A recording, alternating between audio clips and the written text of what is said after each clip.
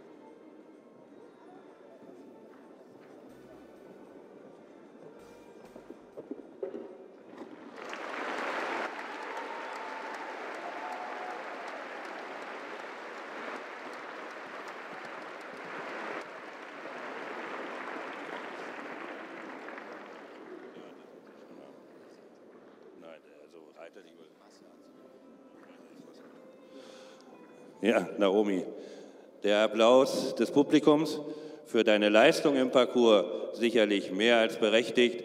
In deinen jungen Jahren hier schon solch einen Parcours zu reiten, das ist äh, einfach toll. Hat uns auch sehr gut gefallen. Aber, aber jetzt müssen wir doch ein bisschen kleinlich werden, weil wir haben vorher erklärt, wie der Parcours anzulegen ist das gegrüßt werden muss bei G und dann in einer quasi Schlangenlinie der Parcours zu beginnen ist.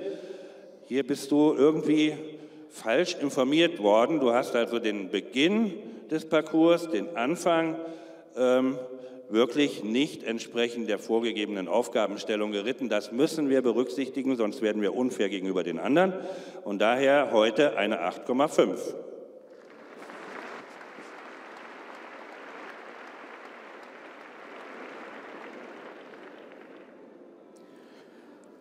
Und dann sehen wir die neunjährige Hannoveraner Stute Karpani und Hanna Schreier vom Reitverein Zeven.